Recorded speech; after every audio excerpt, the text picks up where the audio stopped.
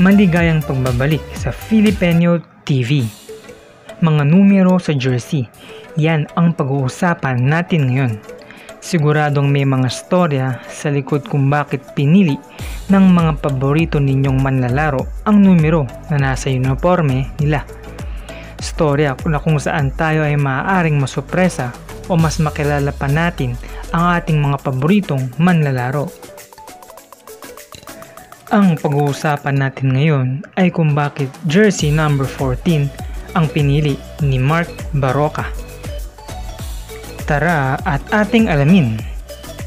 At bago natin simulan ang video, huwag kalimutan mag-like, mag-subscribe, at pindutin na rin ang bell notification. Number 4, yan ang unang numero na ginamit ni Baroka sa mga liga ng basketball. Yan din ang ginamit niya noong naglaro siya sa FEU Tamaraws. At nung naging co-captain siya ng original Gilas Pilipinas National Team under kay Coach Raiko Torman ay number 4 din ang kanyang ginamit.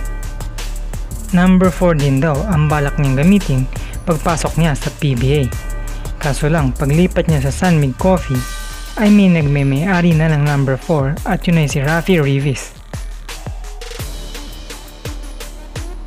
Number 14 ang napili ni Baroka. Ayon sa kanya ay idol niya si Johnny Abarientos na number 14 din ang ginamit na numero. At sakto naman na bakante ang numerong yun at kinuha na daw niya. Sakto din daw na October 14 din ang birth date ng kanyang asawa na si Russell.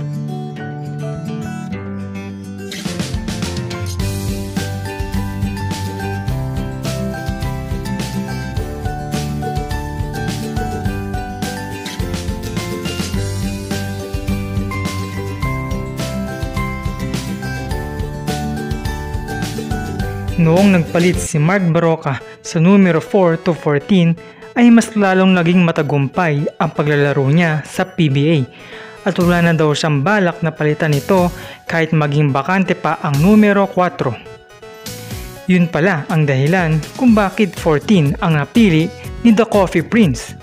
Ano ang masasabi nyo dito? I-komento nyo lang sa ibaba. Sana'y nagustuhan nyo ang videong ito. Huwag kalimutan mag-like, comment at subscribe para sa susunod na basketball news and updates. Hanggat sa muli, ako nga pala si Philip. See you guys next time!